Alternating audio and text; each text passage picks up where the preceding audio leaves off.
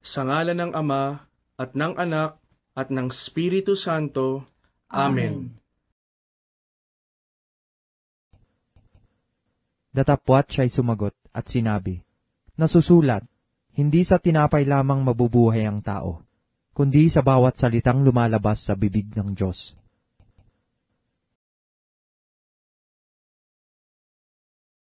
Ama namin, sumasalangit ka, sambahin ang ngalan mo, mapasa amin ang kaharian mo, sundin ang loob mo, dito sa lupa, para ng sa langit. Bigyan mo kami ngayon ng aming kakanin sa araw-araw at patawarin mo kami sa aming mga sala para ng pagpapatawad namin sa nagkakasala sa amin at huwag mo kaming ipahintulot sa tukso at iadya mo kami sa lahat ng masama.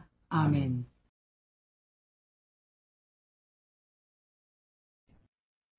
At ginawa ng mga alagad ang ayon sa ipinag-utos sa kanila ni Jesus.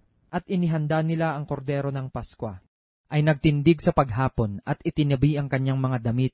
At siya'y kumuha ng isang tuwalya at ibinigkis sa kanyang sarili. Nang magkagayoy nagsalin ng tubig sa kamaw at pinasimulang hugasan ang mga paa ng mga alagad. At kinuskos ng tuwalya, nasa kanya'y nakabigkis. Aba, Ginoong Maria, napupuno ka ng grasya, ang Panginoong Diyos ay sumasa iyo. Bukod kang pinagpala sa babaing lahat, at pinagpala naman ang iyong anak na si Jesus.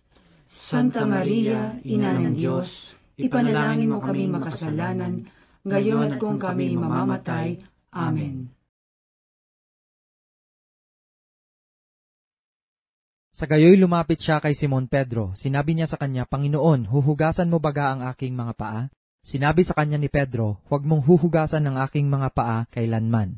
Sinagot siya ni Jesus, Kung hindi kita huhugasan ay hindi ka magkakaroon ng bahagi sa akin. Sinabi sa kanya ni Simon Pedro, Panginoon, hindi ang aking mga paa lamang, kundi pati ng aking mga kamay at ang aking ulo. Sinabi sa kanya ni Jesus, ang napaliguan na ay walang kailangang hugasan maliban ang kanyang mga paa, sapagkat malinis ng lubos, at kayo'y malilinis na, ngunit hindi ang lahat. Kayo'y malilinis na sa pamamagitan ng salita na sa inyo'y aking sinalita.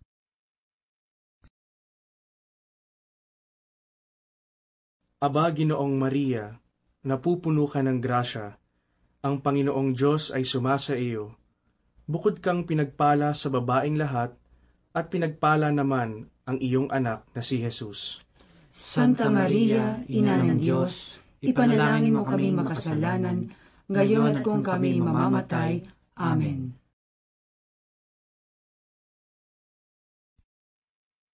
Kaya't nang mahugasan niya ang kanilang mga paa, at makuha ang kanyang mga damit at muling maupo, ay sinabi niya sa kanila, Nalalaman baga ninyo kung ano ang ginawa ko sa inyo? Tinatawag ninyo akong guro at Panginoon, at mabuti ang inyong sinasabi sapagkat ako nga. Kung ako nga, na Panginoon at guro ay naghugas ng inyong mga paa, kayo naman ay nararapat ding mga hugasan ng mga paa ng isa't isa.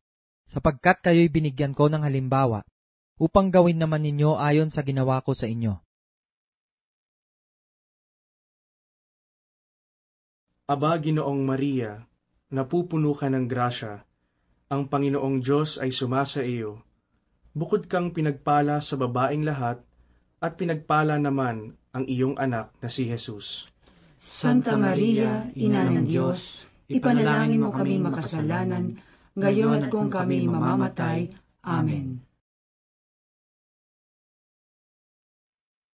Isang bagong utos ang sa inyo'y ibinibigay ko, na kayo'y mangag-ibigan sa isa't isa, na kung paanong iniibig ko kayo, ay mangag-ibigan naman kayo sa isa't isa. Sa ganito'y mga kikilala ng lahat ng mga tao na kayo ay aking mga alagad, kung kayo'y may pag-ibig sa isa't isa.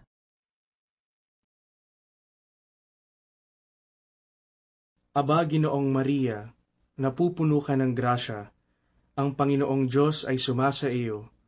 Bukod kang pinagpala sa babaing lahat, at pinagpala naman ang iyong anak na si Jesus. Santa Maria, Ina ng Diyos, ipanalangin mo kami makasalanan, ngayon at kung kami mamamatay. Amen. Ito ang aking utos na kayo'y mangag-ibigan sa isa't isa na gaya ng pag-ibig ko sa inyo. Walang may lalong dakilang pag-ibig kaysa rito. Naibigay ng isang tao ang kanyang buhay dahil sa kanyang mga kaibigan. Kayo'y aking mga kaibigan. Kung gawin ninyo ang mga bagay na aking iniuutos sa inyo. Hindi ko na kayo tatawaging mga alipin sapagkat hindi nalalaman ng alipin kung ano ang ginagawa ng kanyang Panginoon. Ngunit tinatawag ko kayong mga kaibigan sapagkat ang lahat ng mga bagay na narinig ko sa aking ama ay mga ipinakilala ko sa inyo. Aba, Ginoong Maria, napupuno ka ng grasya, ang Panginoong Diyos ay sumasa iyo. Bukod kang pinagpala sa babaing lahat, at pinagpala naman ang iyong anak na si Jesus. Santa Maria, Ina ng Diyos, ipanalangin mo kami makasalanan, ngayon at kung kami mamamatay. Amen. Ngayon ay nagugulumihanan ang aking kaluluwa, at ano ang aking sasabihin? Ama, iligtas mo ako sa oras na ito. Ngunit dahil dito ay naparito ako sa oras na ito. Ama, luwalhatiin mo ang iyong pangalan. Dumating nga ang isang tinig na mula sa langit na nagsasabi, niluwalhati ko na, at muli kong luluwalhatiin. Aba, Ginoong Maria, napupuno ka ng grasya, ang Panginoong Diyos ay sumasa iyo. Bukod kang pinagpala sa babaing lahat, at pinagpala naman ang iyong anak na si Jesus. Santa Maria, Ina ng Diyos, ipanalangin mo kami makasalanan, ngayon at kung kami mamamatay. Amen. At samantalang sila'y nagsisikain, ay dumampot si Jesus ng tinapay, at pinagpala, at pinagputol-putol, at ibinigay sa mga alagad at sinabi, Kunin ninyo, kanin ninyo, ito ang aking katawan. Aba, Ginoong Maria, napupuno ka ng grasya, ang Panginoong Diyos ay sumasa iyo. Bukod kang pinagpala sa babaing lahat, at pinagpala naman ang iyong anak na si Jesus.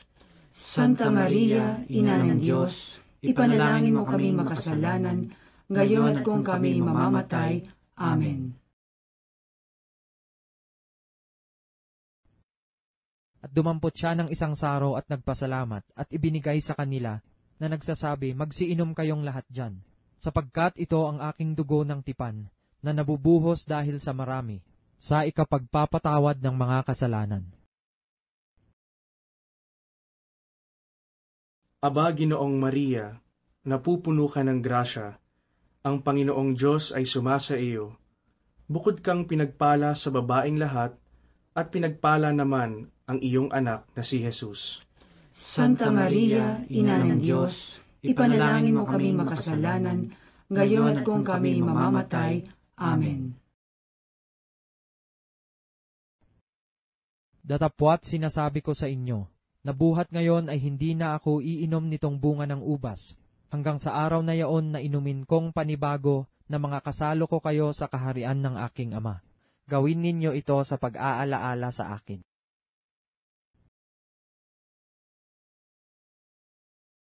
Aba, Ginoong Maria, napupuno ka ng grasya, ang Panginoong Diyos ay sumasa iyo.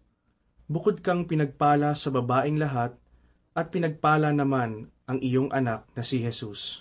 Santa Maria, Ina ng Diyos, ipanalangin mo kami makasalanan, ngayon at kung kami mamamatay. Amen.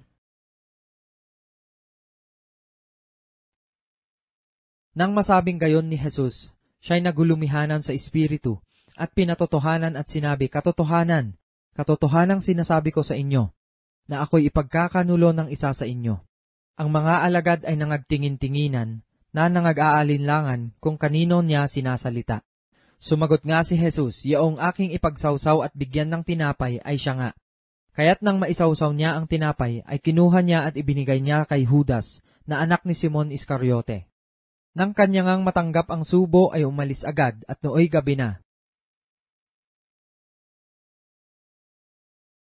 Aba, Ginoong Maria, napupuno ka ng grasya, ang Panginoong Diyos ay sumasa iyo. Bukod kang pinagpala sa babaing lahat, at pinagpala naman ang iyong anak na si Jesus. Santa Maria, Ina ng Diyos, ipanalangin mo kami makasalanan, ngayon at kung kami mamamatay. Amen.